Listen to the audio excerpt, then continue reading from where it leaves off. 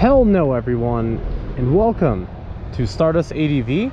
Today we're doing a let's ride of my Harley Davidson Softail Deuce.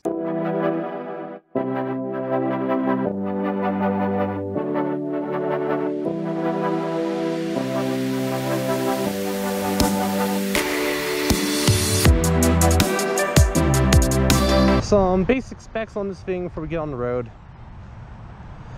Um, the Deuce, I got it used for about $6,000 at a dealership. Has a few mods, like they put on these chrome grips that I'm going to definitely replace. This little clock, like watch thing, which battery is dead on it. It has the factory um, Deuce saddlebags, which is really cool. This all has those. The, uh, the Deuce has a five gallon gas tank, um, this seat is aftermarket, but has this like nice little storage compartment here. I have my sunglasses. I put on the um, Onyx day bag. I think that's what it's called. I'll correct it if I need to, but yeah, it's it's an official Harley product. Right now it has a waterproof cover on. It's actually really nice. And it holds on just fine, even on the freeway one, like against the wind, even during a storm. So that's pretty good. They put a lot of flame aesthetic stuff all over the bike. I'm actually planning on switching that out. So even on these levers. But otherwise, specs wise, oh, and there is a power commander on here, so I'm actually not sure about what specs this is making. Because a uh, power commander three. But um, the, ba the base Deuce, you're getting 68 horsepower and 78 foot-pounds of torque. It has a five-speed five -speed transmission. It's air and oil cooled 88 cubic inch or 1,450 cc about. Single disc brake up front. It's like, yeah, braking power is not the best. Still, let's, let's go ahead and hop on, get her on the road. Enough about the basics. This thing weighs in 670 pounds without luggage or anything, but with the crash bars and the luggage, I'd say it's probably closer to 700. Alrighty. Here we go. The windscreen here is actually not the original windscreen, but who cares?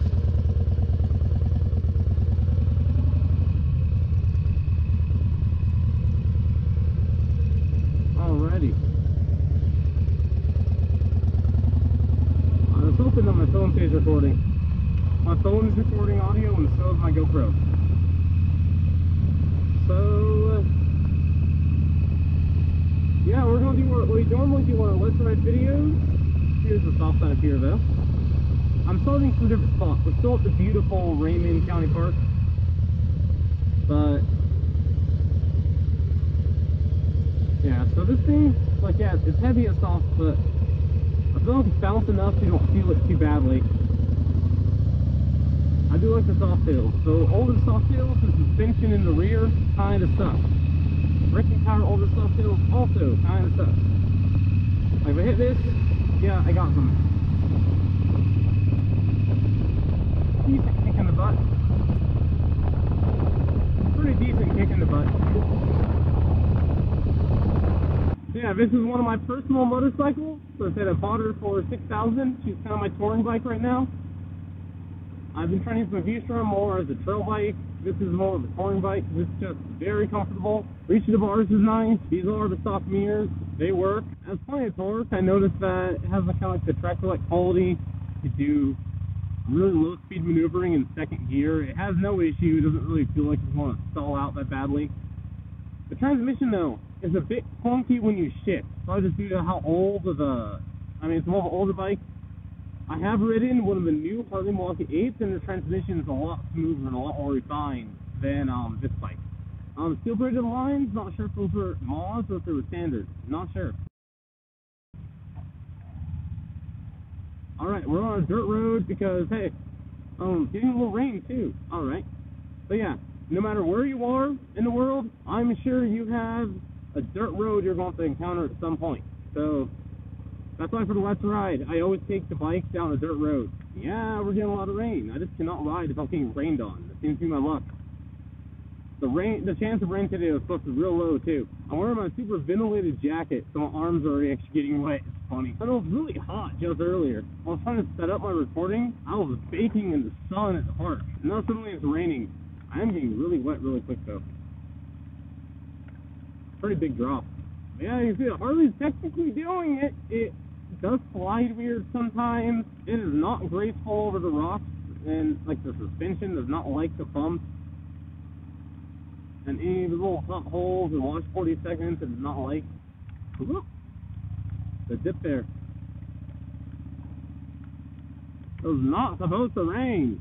Ah! Yeah, by the way, every time I've gone on a ride for the last few weeks, even on times it's not supposed to rain, I suddenly get rained on. It's been hilarious. I have a coworker who's already making jokes about it.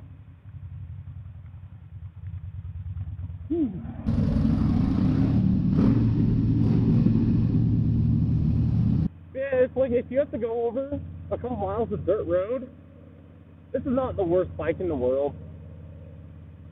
I would just never try to take it off road or do anything choppier than this, really. I mean, I've been on worse than this. I've taken this bike out to visit my family in Kingman, and uh, they kind of off the grid near Kingman. And yeah, that was very interesting. The bike, it did not compose itself like at all. I was sliding everywhere. And I think what helped attribute to the heavy bike not feeling super heavy is sometimes how low to the ground it is. There's like no ground clearance, and you have like a 25 inch seat.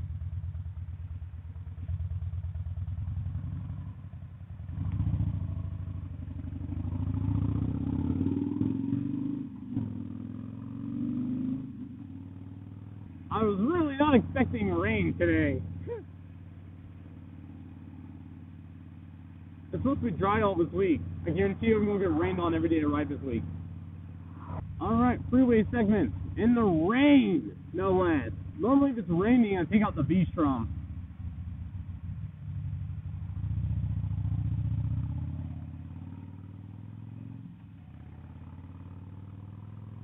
So it's funny you get up and go power even on old Harley.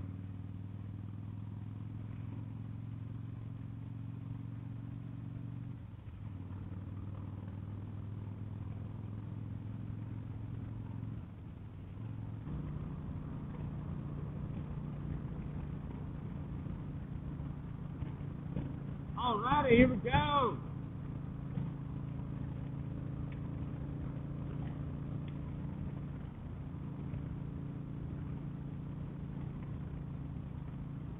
It doesn't have any issue getting up to 85, 90 miles an hour if you need a pass.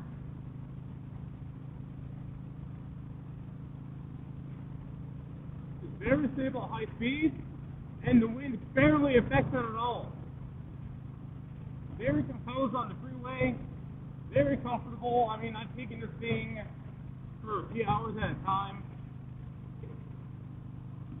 the freeway. And I haven't done these long trips on any of my bikes. Longest I've done is three hours out and three hours back, flying front and rear brakes. You have adequate slowdown, but it's really not all that great.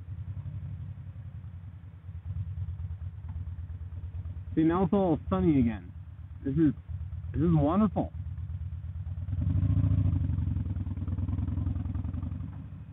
That started in second gear. Just down the first just now. Funny.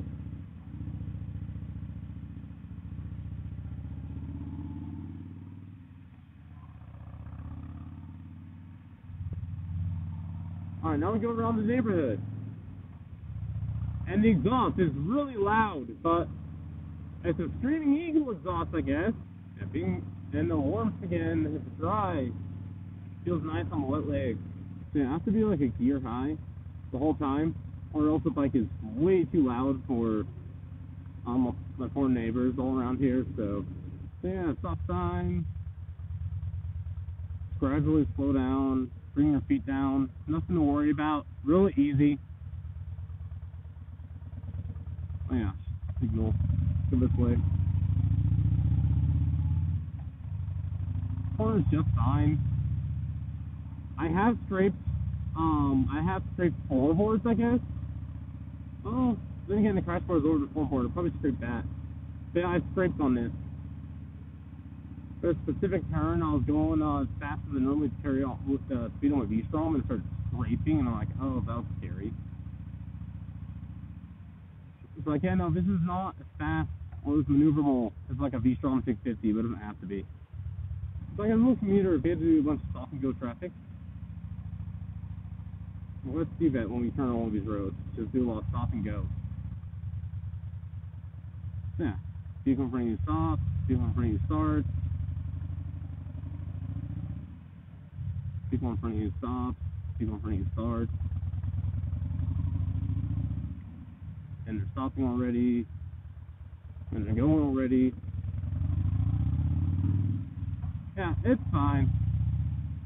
It's not hard. to- Like I said, it's a low seat is what really makes it doable despite its weight. Despite the thing's monstrous weight, that low seat is the low seat's great.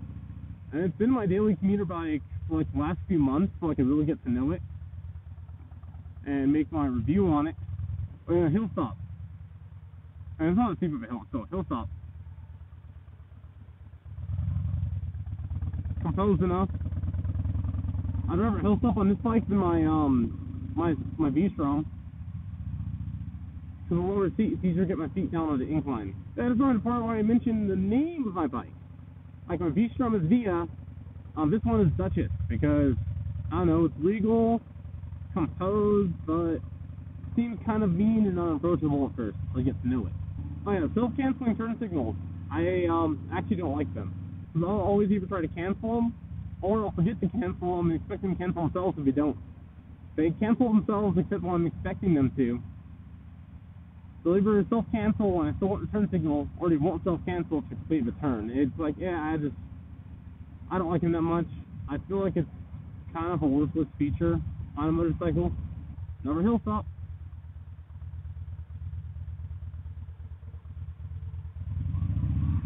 Oh, I was gonna get ready to go, but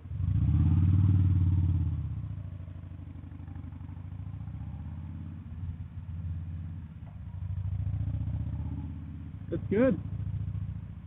It's not perfect. It's not probably great, but it's good, and it's good enough for me. I really like it. It does have a pretty nice little bit of torque. It does have nice torque. That's the thing about Harley. They have nice torque. You never talk about Harley horsepower. Talk about Harley torque. Start the pigs coming the other direction on this road before. Yeah, cornering isn't all that great. We're talking about a big, heavy lump of Harley Davidson. Real American steel. Yeah.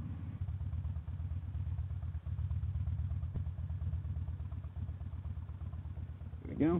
Yeah, final thoughts. It is a nice little package. I mean, not little, it's huge. It's a nice package for what it is. I'm sure back when this thing was brand new, it was stupidly expensive though, but as it is now, is like $6,000 or that's, it's, I think blue book value is between five and 6,000 based on condition.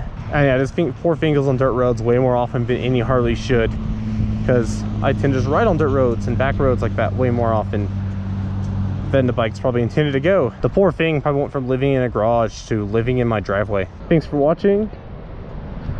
Stardust ADV out.